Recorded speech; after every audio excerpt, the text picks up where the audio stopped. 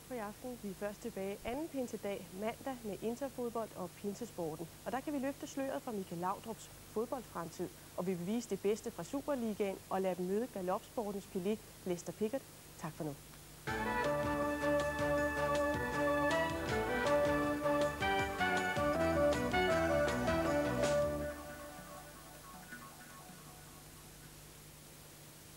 Held og Lotto. Vindertallene blev i dag nummer 4, 6, 12,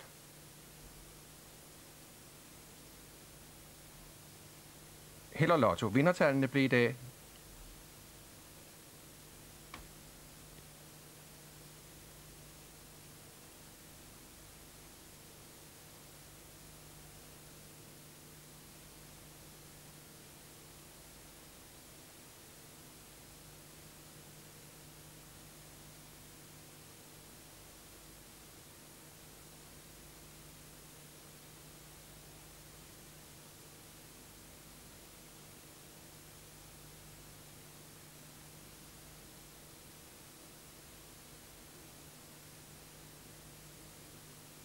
Ja, vi havde nogle mikrofonproblemer her i speakerstudiet.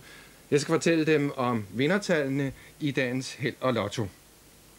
Vindertallene blev nummer 4, 6, 12, 20, 27, 28 og 35. Og de tre tillægstal, nummer 15, nummer 30 og nummer 31. Og her er prognosen. Syv vindertal giver 1.439.046 kroner. Seks vindertal plus tillægstal 55.534 kroner. Seks vindertal 4.410 kroner. Fem vindertal 174 kroner. Og fire vindertal plus tillægstal 50 kroner.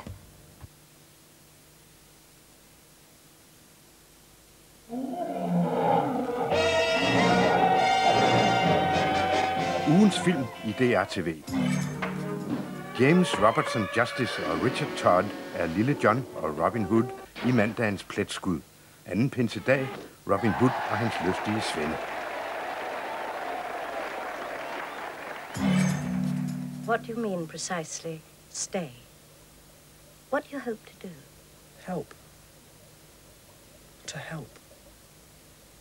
Look here, old son, we don't know anything about you, not the first thing.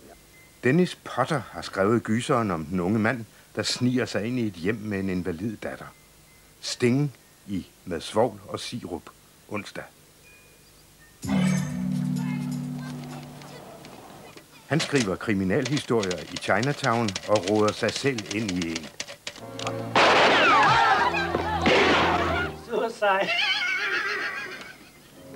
Så fast!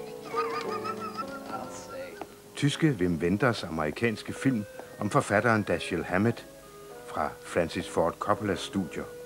Menneskejagt i San Francisco. Fredag. Mariel Hemingway, Woody Allen. Meryl Streep, really mired in 30s radicalism. What do you do, Tracy? I go to high school. og Diane Keaton i Woody Allens Manhattan. Lørdag. James Stewart er manden, som er kommet for at hævne sin bror. Han kom fra Laramie. Anthony Manns western lørdag aften. Okay, we're open. De tre brødre McDermott elsker arbejdet i deres forældres lille kyllingerestaurant. Indtil en dag. I through with you.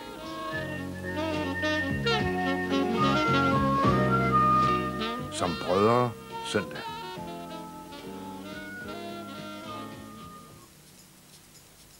Mandag anden pinsedag Robin Hood og hans lystige svende.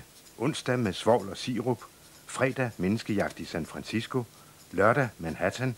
Senere lørdag han kom fra Laramie. Og søndag som brødre.